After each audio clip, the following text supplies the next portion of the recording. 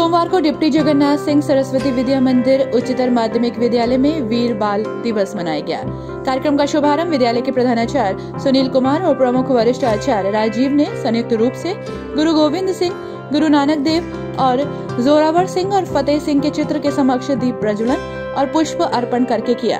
कार्यक्रम में कक्षा 11 एक की छात्रा तेजस्वी यादव ने गुरु गोविंद सिंह के पुत्रों, जोरावर सिंह और फतेह सिंह के ज़िंदा दीवार में चुनवा देने की घटना के बारे में विस्तार से बताया। साथ ही कार्यक्रम में छात्रा पलक वाजपेयी, तेजस्वी यादव, अमनदीप सिंह, राजकुमार सिंह, वरिष्ठ आचार्य राजीव ने जोरावर सिंह, फतेह सिंह के बलिदान की कहानी बताकर सभी छात्र छात्राओं को प्रेरित किया। कार्यक्रम का संचालन कक्षा ग्यारहवीं के छात्र विशाल रोहिल्ला ने किया।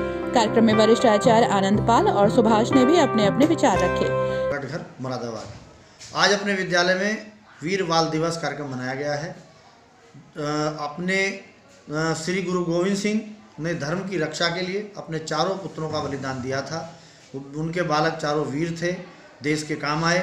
आज हम भैया बहनों को उनकी वीर गाथा सुना करके ये चाहते हैं कि हमारे बालक भी उनके गुरु गोविंद सिंह के बालकों की तरह वीर बालक बन सके। इसलिए हमने सभी बालकों के सामने अच्छे अच्छे कार्यक्रम इस तरह से यहाँ प्रस्तुत किए।